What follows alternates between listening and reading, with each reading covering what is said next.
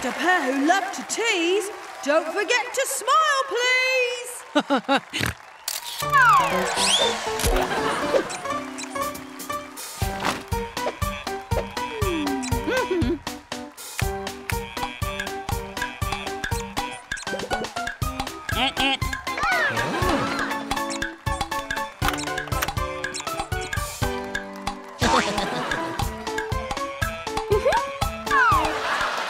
Uh-oh.